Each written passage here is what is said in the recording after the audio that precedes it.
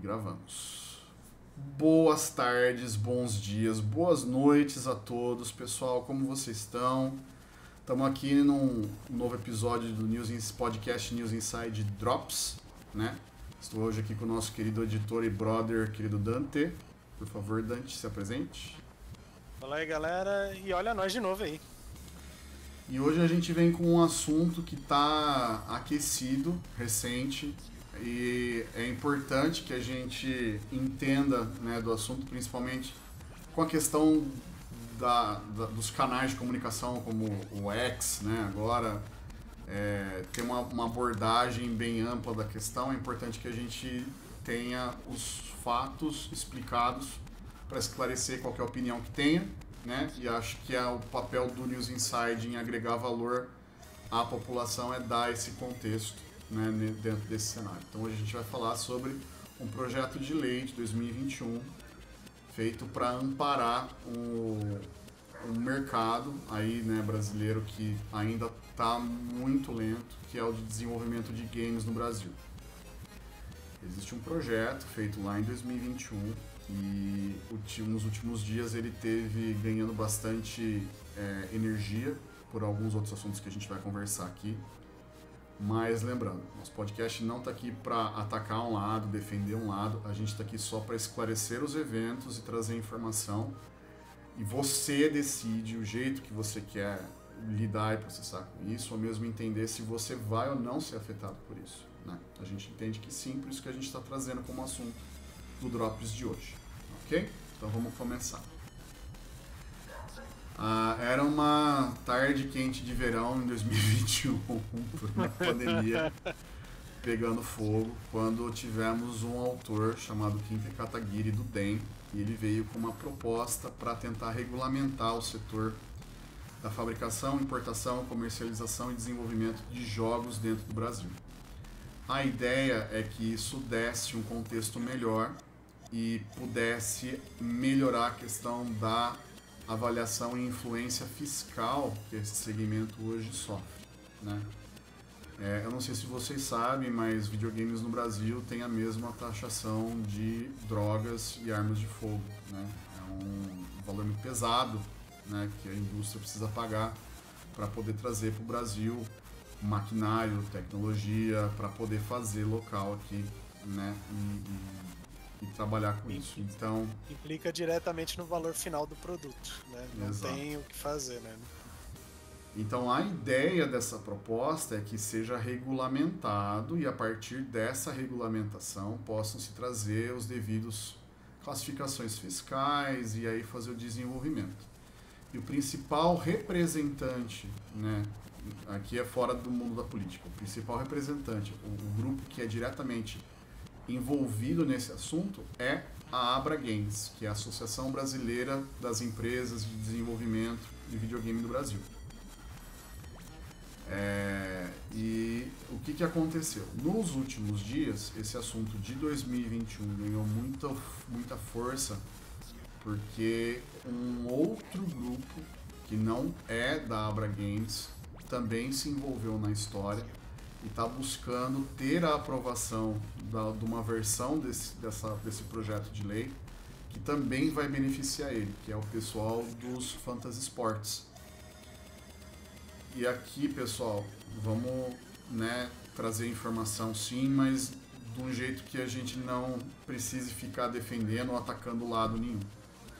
É. Fantasy Sports, para quem não conhece, é o conjunto de, de empresas né, que promovem a, um, um gênero diferente de, de esporte, onde você faz o investimento né? E você, junto com outras pessoas, vão acabar acompanhando como está sendo esse investimento. E a pessoa que estiver mais próxima do resultado que foi né, deduzido no, no, na fase, no começo da temporada, tem remunerado né, a parte do investimento e mais a parte referente ao investimento dos outros que perderam e não foram capazes de é, prever os resultados dos jogos. Aí vocês vão falar, ah, mas isso é aposta e não sei o que. Cara, não estamos aqui para discutir isso, tá? É um fato.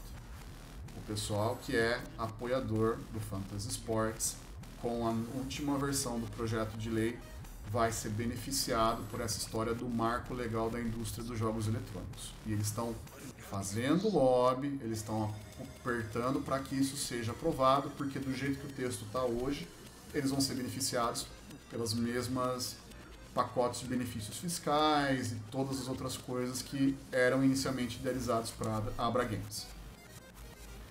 É, uma coisa aí, só pra gente até pontuar. O uhum. que dá a entender é que o texto não tinha. Não, não mirava nessa galera. É uma galera que está se aproveitando. Seria, seria isso?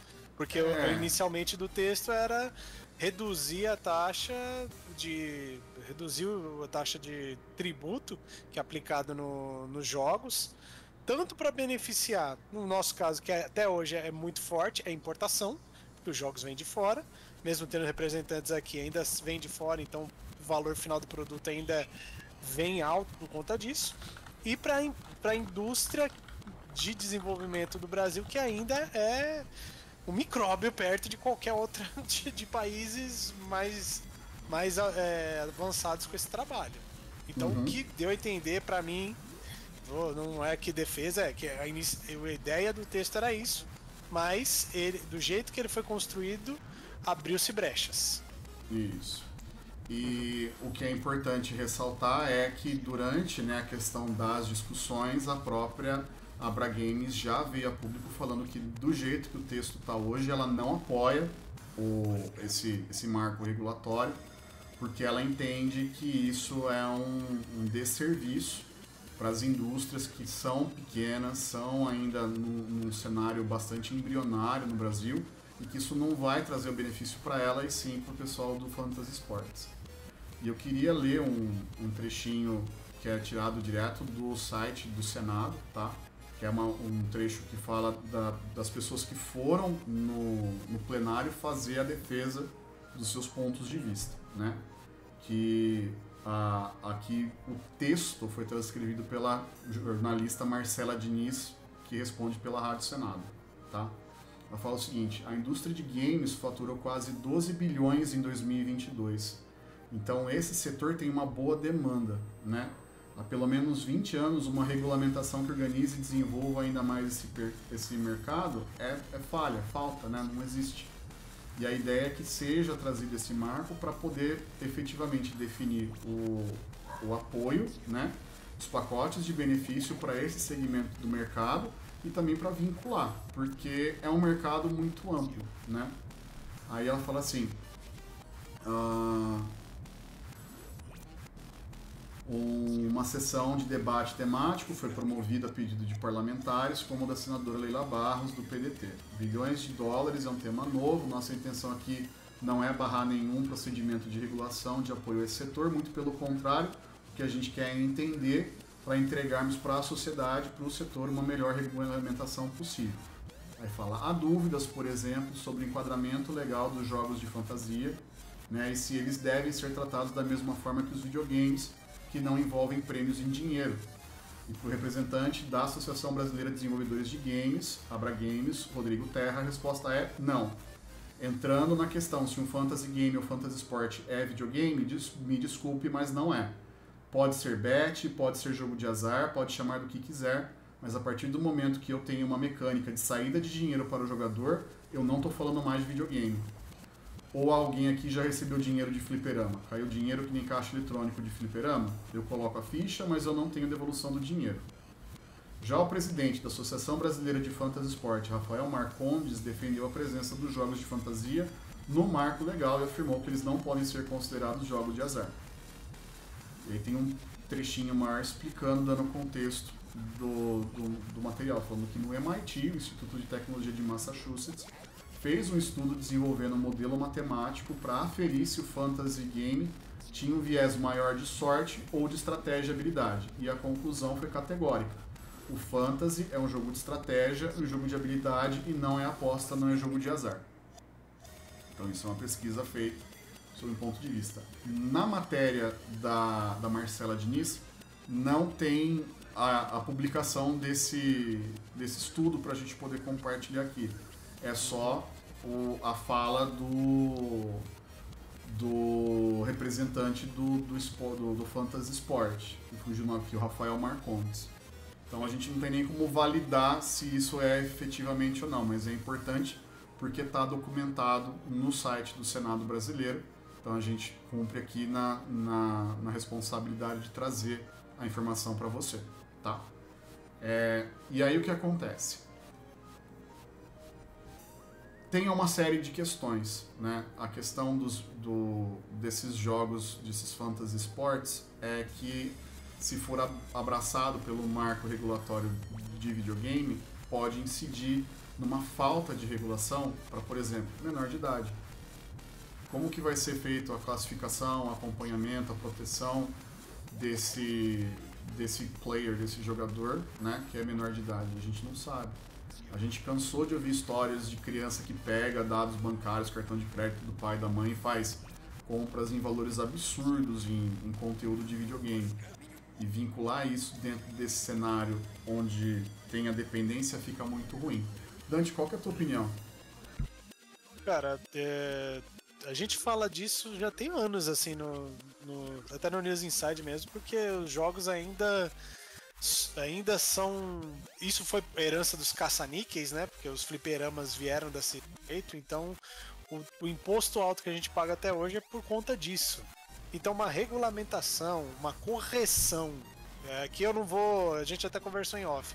Não vou ser utópico, porque eu também não gosto dos valores que o Brasil põe de imposto para as outras áreas, mas eu sou realista em dizer que nosso país não tem como é, é, tirar imposto de vez, né? Tem aí o pessoal de quando compra livro, praticamente imposto é zero. Acho que praticamente não tem imposto sobre livro, quando até a é, pessoa isento. importa de fora. É então, assim, para essa, para outras áreas, eu, a, a nossa realidade hoje é que não dá para tirar. Agora, colocar um valor adequado, isso, cara, é muito justo. Porém, então, é, eu, vamos... eu acredito que é o caminho certo, Dante, esse cenário Sim. que você passou. Mas o que me preocupa é a falta da visibilidade do assunto, não dá é. oportunidade para ter a discussão adequada do tema. Sim. E aí a gente vai acabar expondo né, a população a uma, a uma situação onde eles vão estar expostos a riscos e não vai ter o que fazer. Você vai fazer o que? Vai soltar o PROCON em cima do, do, dos organizadores do, do Fantasy Sport? Exato. Você vai, vai auditar o, a, a, a, a contabilidade do, do, da galera do Fantasy Sport? Até, até onde, eu, onde a gente, pelo menos o que deu para é, entender, é, parece que o texto é, abre uma falha e para essa, essa área se aproveitar. Sim. Eu também sou da opinião que é, se está envolvendo algo monetário, sai dessa, sai dessa questão. Uma coisa é, quando a gente estava falando, ah, porque a ideia do texto era, ah, vamos aplicar o valor de software nos jogos, não o valor que está, não, não a taxação que é aplicada hoje, porque daí você joga esse valor, é, essa carga de imposto alta. Isso beneficia, porque eu acho que a Steam é a única que, que a gente se, que se beneficia muito disso por conta do software. O preço dela sempre é o mais baixo comparado de qualquer outro que vende que vende os, os assim, comparado com a PS, a PSN é mais alta. A Xbox tá ali mais ou menos. A Nintendo, sei lá, tem hora que pula, pula sobe ali os valores. A Steam geralmente é o que tá com valor mais ok, mas ainda seria possível um valor melhor ainda para nós. Sim. Porém, é, o Brasil não anda com questões de. Assim, quem conseguiu desenvolver é, videogame hoje, jogos, é um guerreiro e parabéns, porque o Brasil tá sempre contra. Contra, assim, por causa de carga tributária, por causa de. É, assim, ah, você vê hoje que tem muita gente, muitas escolas, ah, aprenda a fazer games. Uhum. Cadê o mercado de games? Porque a gente não, não, não tem regulação. desenvolver eu, eu não Sabe? tenho segurança como empresa de continuar investindo a, a, uma, por exemplo, um plano estratégico de cinco anos, porque eu não tenho nenhum tipo de apoio ou, ou, ou suporte. Eu estou em risco. Sim. Eu vou Sim. dar a ideia, por exemplo, de contratar, que eu achei num dos discursos que eu acompanhei que eles fizeram, um argumento muito legal, que assim, a, a, a desenvolvedora de jogo, ela não está classificada como jogo de azar. Ao contrário, ela está agregando valor. Ela contrata roteirista, ela contrata ilustrador, ela contrata músico. São artistas. Em média, ele só tem de desenvolvedor 30% do, da grade de funcionários. A maioria são artistas, é da classe da cultura. E hoje, algumas empresas de game pode, se quiser, se, se inscrever para participar de projetos culturais, como, por exemplo, tem disponível a Lei Rouanet. Mas eles não fazem porque eles entendem que esse é um projeto que é dedicado a outro segmento.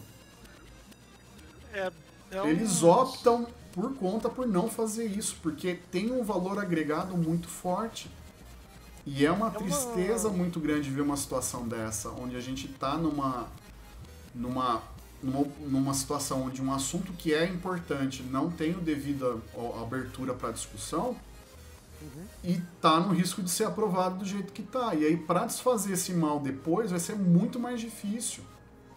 É, o, se a gente for ver, é, eu até entendo isso, porque assim, quando eu, é, eu li o texto, assim, de, de orelhada, ainda preciso me aprofundar mais na coisa que deu a entender era que uh, o texto se resume ao valor final do produto, né? Do, do, é, do, não é. Que vai, vai é. acabar. E a gente sabe que tem coisas uh, por detrás. Uhum. Então, óbvio, né? A produção, aí eu já não sei como é que, como é que seria trabalhado, porque, ah, beleza. Então a gente conta com ator de voz, com a Sim. voz original. Muito Sim. bem. Então eu estou pagando aquele cara é, com a base que é utilizada, por exemplo, para é, com o pessoal da, da área de dublagem, que aí então, eles têm hoje... as regras deles. Que aí entra também na regra que, que, que entende assim que é a produção. É, eu acredito que já tem essa parte definida para esses artistas. Não, porque, assim, não tem. Não, mas, Eles têm mas, que contratar por, exemplo... por, fora e não tem nenhum tipo de base para falar assim é, eu vou buscar o sindicato dos atores para negociar um valor. O sindicato dos atores vai falar: ou você trabalha com a minha alíquota para filme e série de TV, ou eu não faço. Ah, então criaria Porque eu não tenho pro game. Exato. e é isso, trabalhar com isso. E é isso o que da proposta original é importante. É trazer parâmetro, trazer recurso para apoiar e estimular o cenário de empresas de desenvolvimento de jogos no Brasil. Então não vai ficar solto. Os estúdios Ele... se viram hoje com as dublagens. Porque eu imagino que, então que tá que usando jogos, do filme. Que jogos brasileiros hoje têm grana para bancar dublagem? As grandes. Aliás. Não, sim, mas aí. E eles entram nos acordos de filme, que é o que acontece em outros países, por exemplo. Nos Estados Unidos eles usam os mesmos serviços, os mesmos talentos as mesmas empresas que fazem dublagem para filme e TV. O Brasil pode ser a mesma coisa? Pode. Quem que vai garantir isso? O marco legal.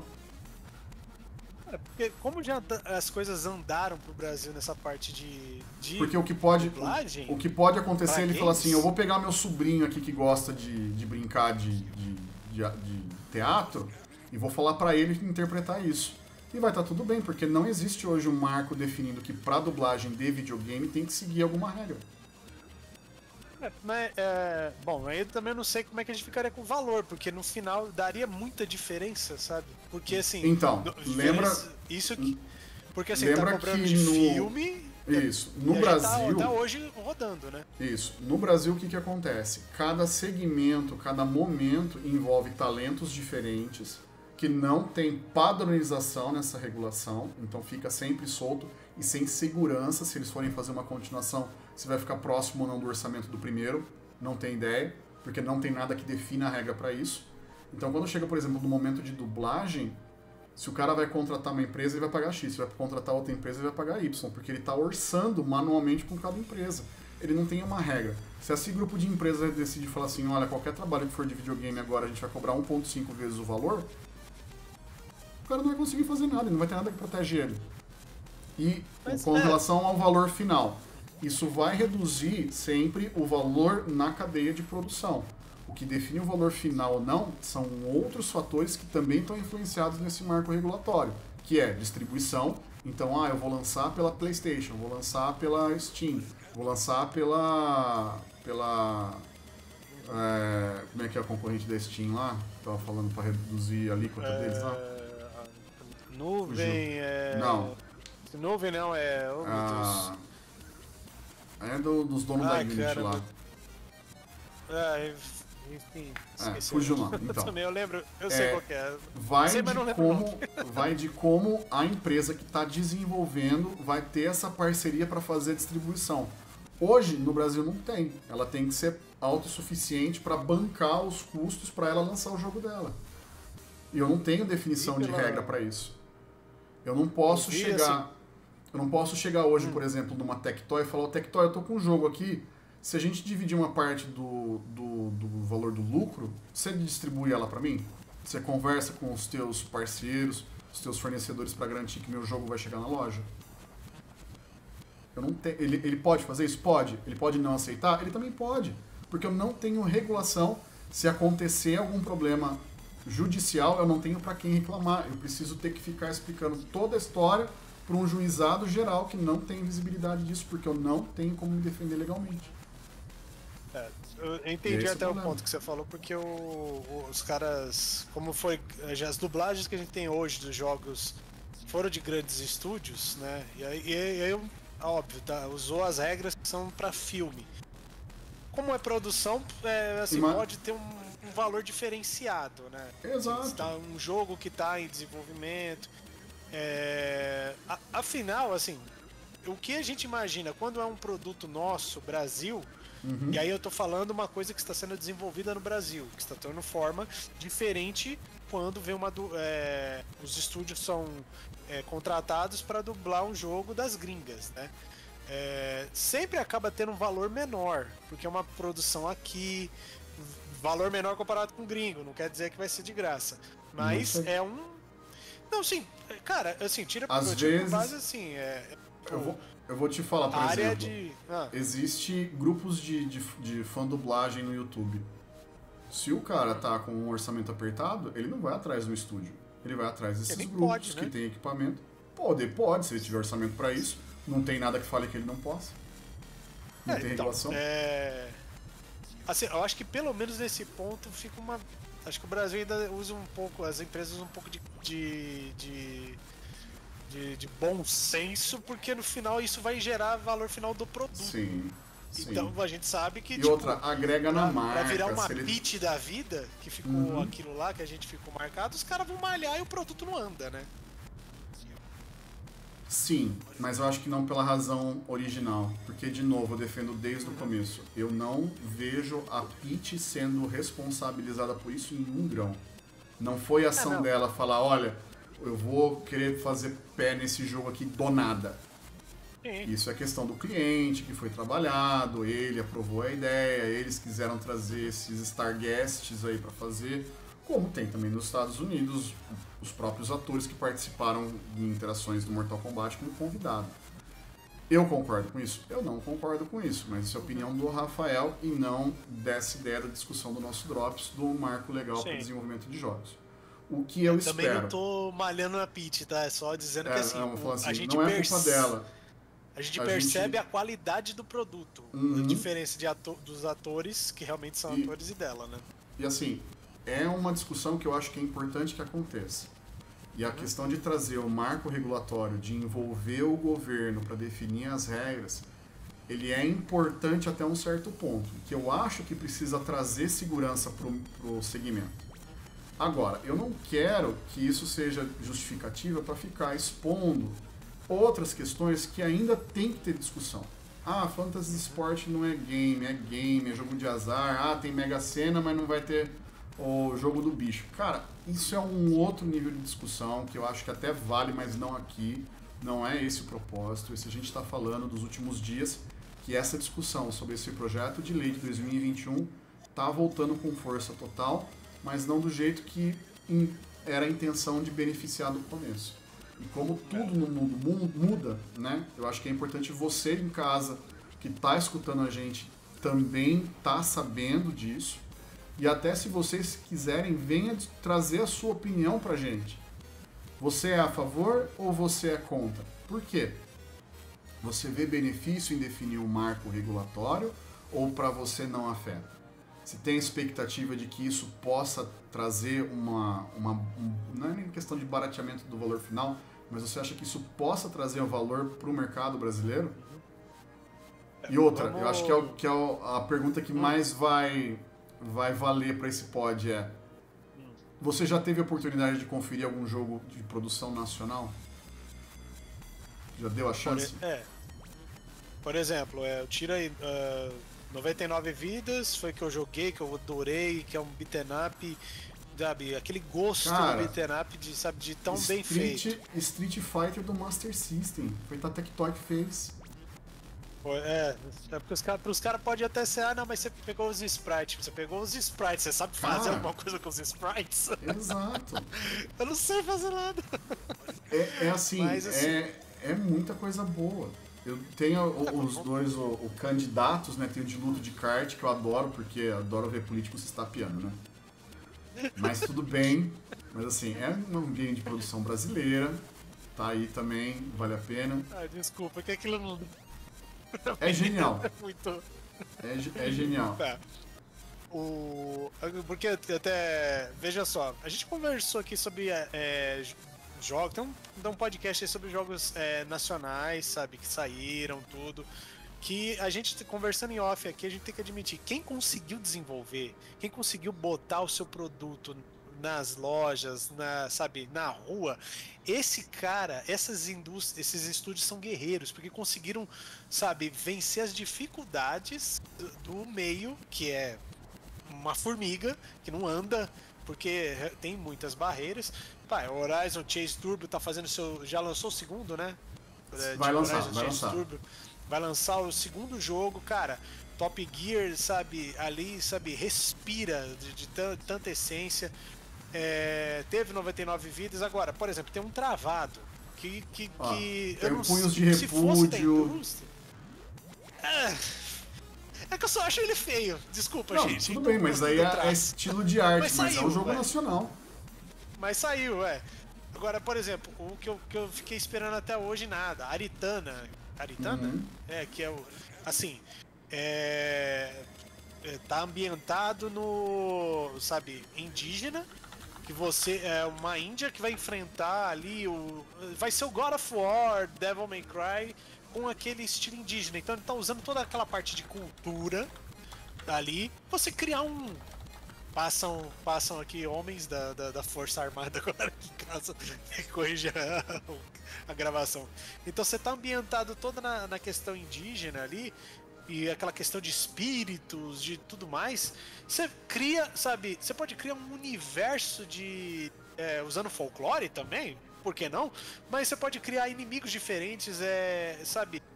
Um, todo um universo diferente, porque você está usando uma cultura do Brasil, mas você está saindo do clássico é, é, Ragnarok, é, sei lá, é, Roma, sabe? Essa, essa toda essa americanização que a gente está cansado de ver. Então você consegue criar, mas o jogo, cara, até hoje o que eu vi de notícia era tem publisher brigando por ele para saber quem é que vai orçar, dar o dinheiro pro estúdio aqui do Brasil continuar. Até hoje não saiu uhum. nada. Ficou num trailer lá e não andou, sabe? Então, porque eu até falei de. Geralmente quando a gente faz umas coisas do Brasil, tende a um valor menor. Por quê? Tô, tô baseando assim, ó, veja bem baseando pelo. Por exemplo, eu, eu toco porcamente guitarra. Tento tocar um instrumento musical.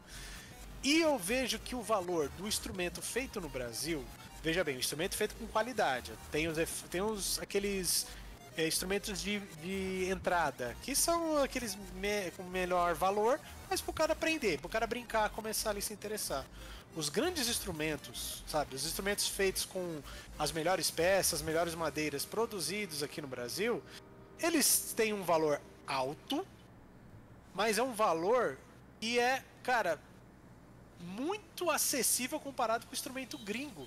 Porque, se não me falha a memória, o instrumento gringo chega no Brasil tem que pagar 70%, até maior que o valor de eletrônico. 70% em cima de um instrumento. Então você que adora Gibson, como eu, você não vai querer gastar 10 mil reais no instrumento, que você tem mais coisa do que fazer. Sim, mas assim. Então a produção nacional pode ficar mais pode. barata com isso. Sem dúvida. Enquanto a gente tiver nessa condição de o mesmo produto sai mais barato no, no estrangeiro, a gente está perdendo oportunidade de negócio. E tudo isso é uma falta de visão grotesca, é um problema antigo.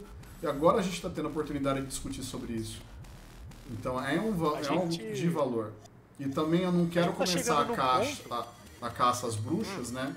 Como foi no passado, e falar, não, tudo que é do Brasil é 10% de alíquota, tudo que é do exterior joga 200% de alíquota. Que também não faz sentido.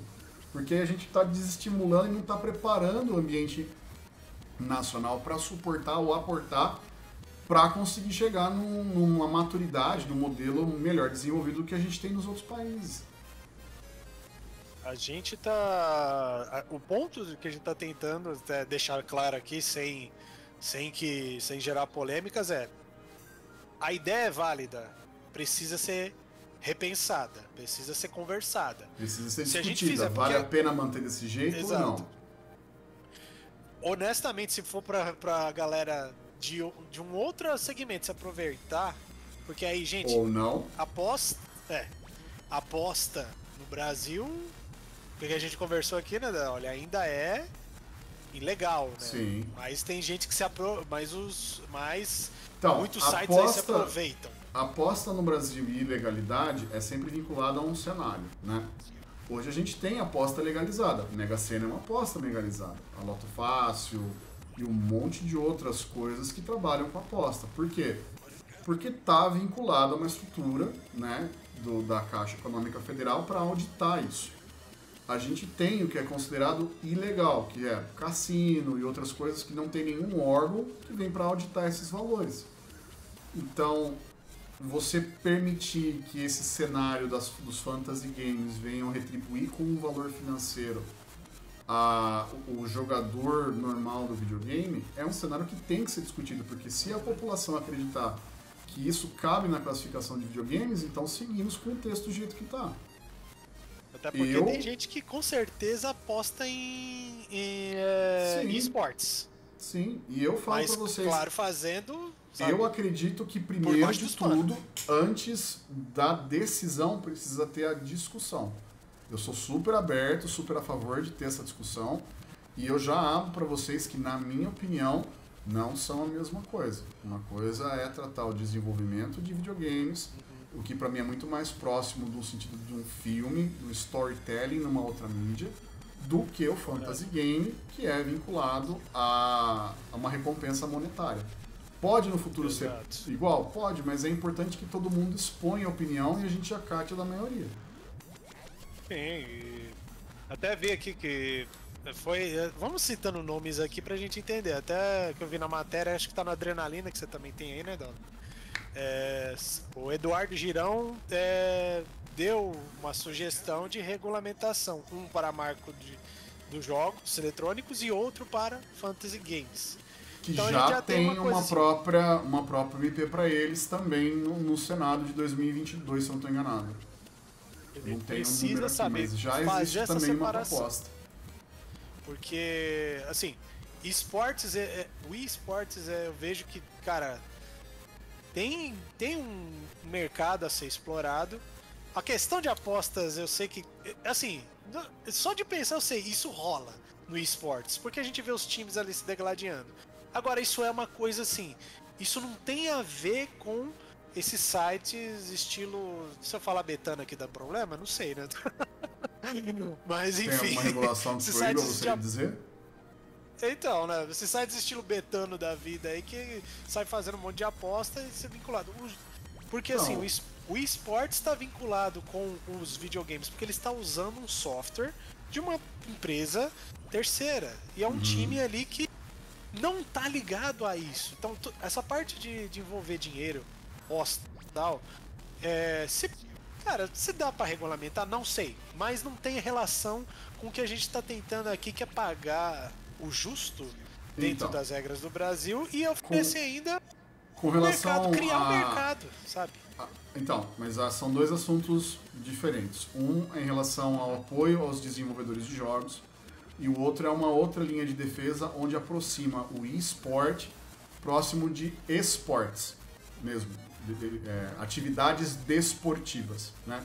Porque na atividade desportiva você tem competição e você tem remuneração em cima da competição, mas já ficou muito claro, né, quando houve a discussão desse assunto há uns meses atrás, que a própria ministra do esporte né, não concorda. Ela não considera o esporte sendo um, uma atividade desportiva. Então não valeria, não classificaria para essa avaliação. E assim, apesar de eu pessoalmente não concordar com, com ela, né? A, Também a não concordo. ministra do esporte atual, É. fugiu o nome. Eu acho que foi até que ela, ela acabou até perdendo emprego Ana recentemente, Moser. né? Parece. Tá, eu, Ah. eu citei A esportes aqui. Moser. E, e assim, ela é uma esportista de- olímpica, ela tem a opinião dela, ela tem o direito de ter a Sim. opinião dela, né? Eu, particularmente, com a visão que eu tenho, eu não concordo, mas, cara, ela é a ministra. Né? Ela defende a agenda do- das atividades que ela precisa liderar, ou precisava, não sei se ela saiu ou não, mas assim, independente, é, é um fato, né? Com a questão a competição dos e-sports, né? Não, É. não, a decisão atual que fica é não é classificável a mesmo do, das competições esportivas.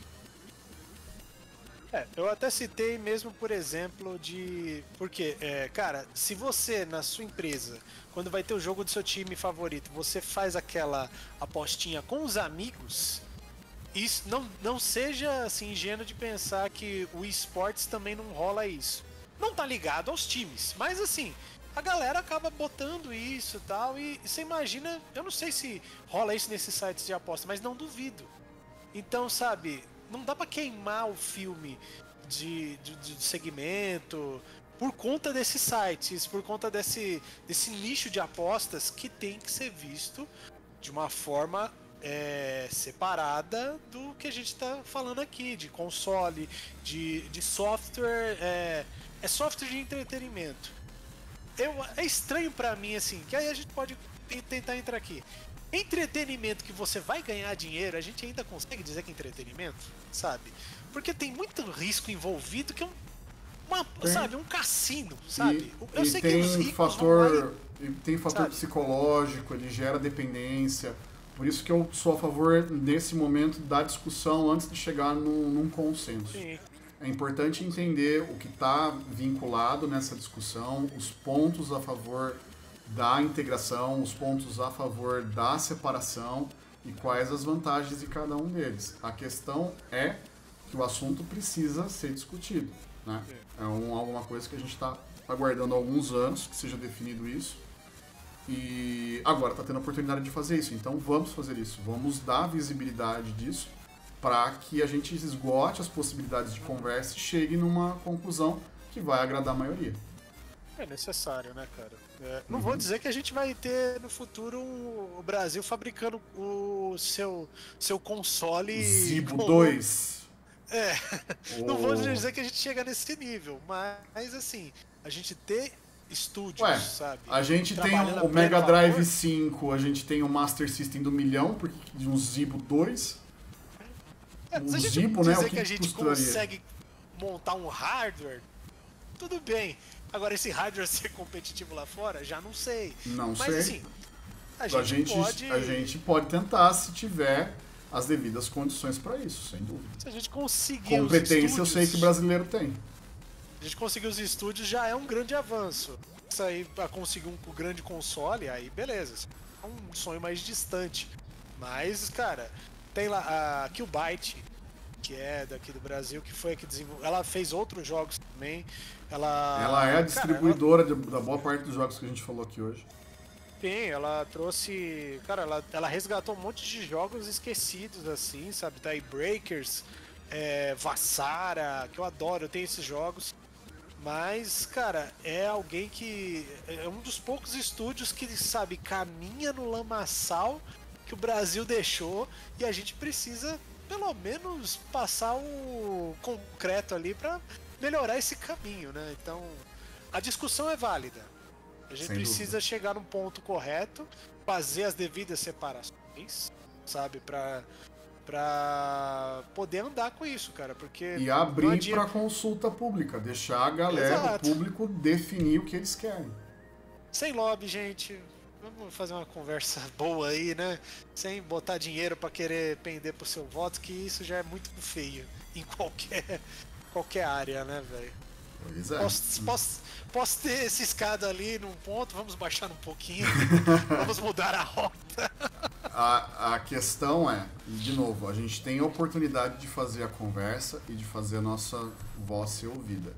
Entrou em consulta pública em 2021, foi aprovado para seguir, então é uma ideia que enxerga esse valor, mas é importante que seja do jeito que efetivamente traga benefício e não exponha risco.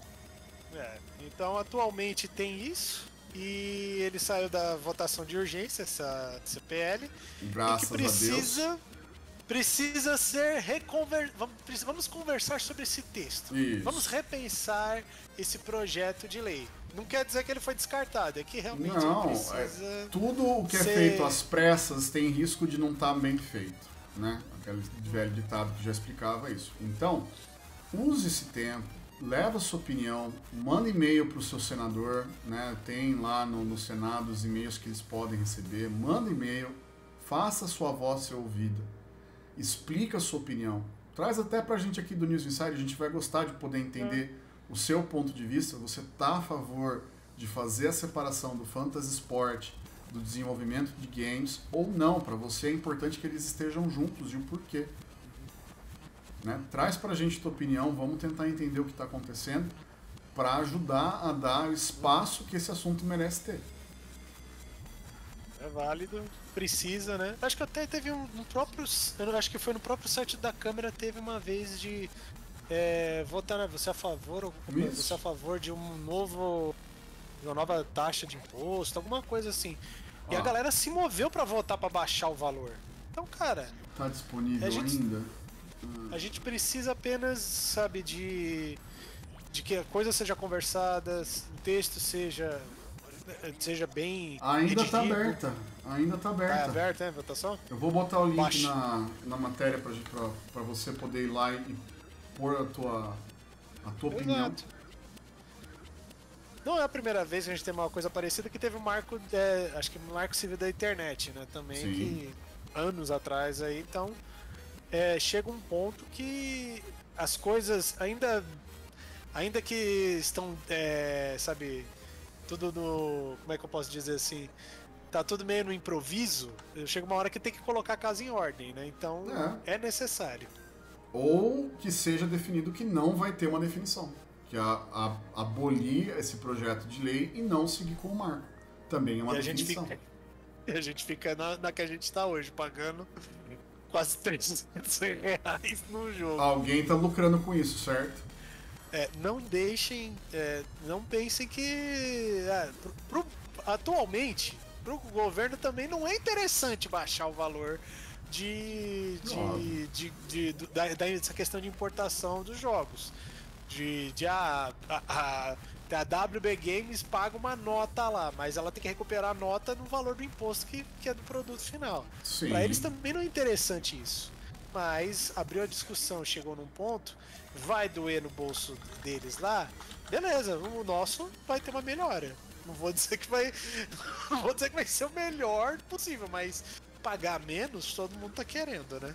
Sem dúvida. Caramba. Uma boa, boa pontuação, viu? Aqui de. de- claro, expressivo. É, assim- Eu queria saber quem é que tá votando não. Eu queria muito Ué. entender. Existem, com certeza, pessoas que acham que existem outros assuntos com a melhor é, ideia de proposição e que talvez esse não seja nem o melhor projeto, nem o melhor momento para isso. Porque É, descartando porque- dá a chance de outros assuntos serem debatidos.